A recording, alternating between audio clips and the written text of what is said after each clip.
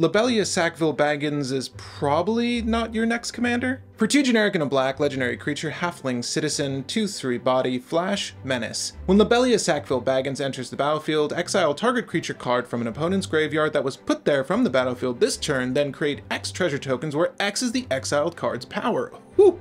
So, idea being, anytime a creature is destroyed or otherwise removed from the battlefield, flash Lobelia in, exile the creature, and make treasures. The timing restriction of this spell alongside the manner in which it actually makes the treasures, and the further restriction that it need be an opponent's creature, so there's no setup with say a Phyrexian Dreadnought, all make out what is a very situational pseudo ramp piece. Still, I'm curious, will you be brewing with